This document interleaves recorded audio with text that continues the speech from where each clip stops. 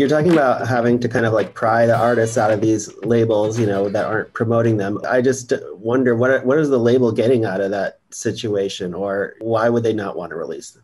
the real answer to that to that is they're getting nothing out of it. They want to release artists because the last thing they want is somebody out here bad mouthing them, mm.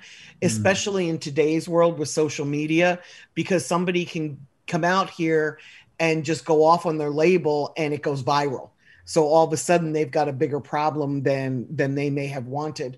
There were some instances where I would be negotiating a deal and getting somebody onto the label and then in exchange asking for them to release artists back off. For example, I did a joint venture deal at Atlantic for Twista in 96. And part of his deal was Atlantic letting Mad Skillz go and another group. I can't even remember the name, it was Abstract something, letting them go so that they would be free from their contract and Atlantic had no problem with that because they wanted Twista. We had sold 300 and some odd thousand CDs. It was CDs back then, um, 300 and some odd thousand CDs independently. So if I had asked them to stand on their heads in Times Square, they probably would have done that. Well, so is it ever the case that a label has paid for an album to be created and they don't want to, as so they feel like they're in the hole? Yes. But if they're not going to put it out, it's not really the artist's fault.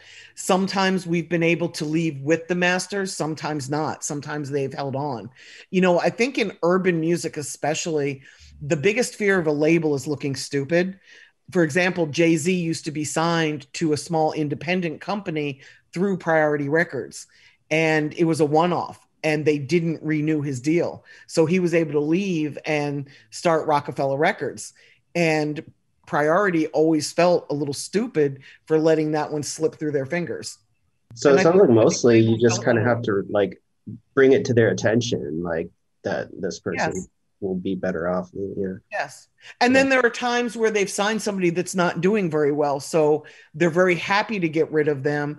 And it's much easier when somebody else is asking, you know, to let them go than for them to just go through and drop all the artists that are signed to them because there's no financial incentive for them to drop an artist. Yeah. But if somebody asks nicely and that somebody happens to be a person doing a lot of deals, I could see where they might not want to piss me off because I can help make the money.